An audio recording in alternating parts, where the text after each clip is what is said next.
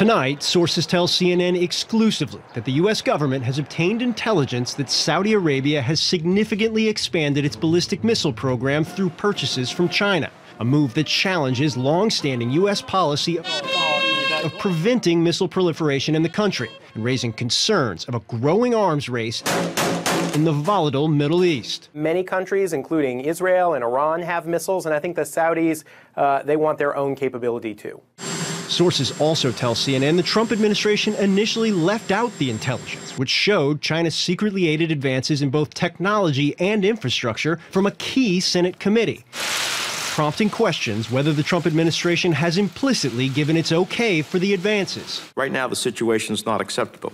The dispute over the withheld intelligence spilled into the open during a Senate Foreign Relations Committee hearing with Secretary of State Mike Pompeo in April. I'd like to flag for your attention a classified matter, the details of which I won't and can't discuss here, where we raised with the department an important issue that had not previously been shared with us, would not, in fact, have been shared with us had we not raised it with you, and may have made the difference in how senators voted on a particular matter. New Jersey Senator Bob Menendez, who declined to discuss the issue or the underlying intelligence with CNN, only received a classified briefing on the matter after requesting one. Sources said Menendez was initially made aware of the Saudi advances from Democratic staffers, including one who had traveled to the region.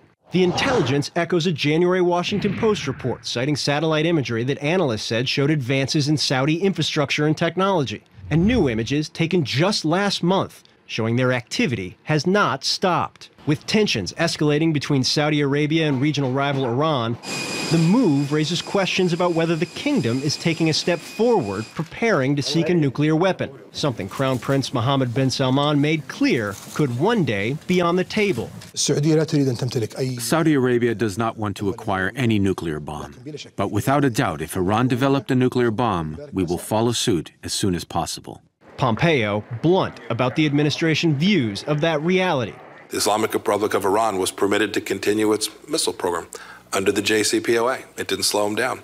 And so others are doing what they need to do to uh, create a deterrence tool for themselves. The Saudi embassy in the U.S. did not respond to CNN's request for comment. The Chinese foreign ministry did not deny the sales, but noted its strategic partnership with the kingdom, quote, does not violate any international laws, nor does it involve the proliferation of weapons of mass destruction. Crown Prince, thank you very much. The U.S. administration for months has made a concerted effort to strengthen allies in the region most notably Saudi Arabia, even amid bipartisan uproar over the murder of journalist Jamal Khashoggi and the brutal war in Yemen, where the Saudis have fought against Iranian proxies and civilians have paid the price. They're an enormous support to us. We're aiming to keep that relationship with the Kingdom of Saudi Arabia. The State Department declined to comment on classified material but said they expect the kingdom to adhere to its commitment not to pursue nuclear weapons.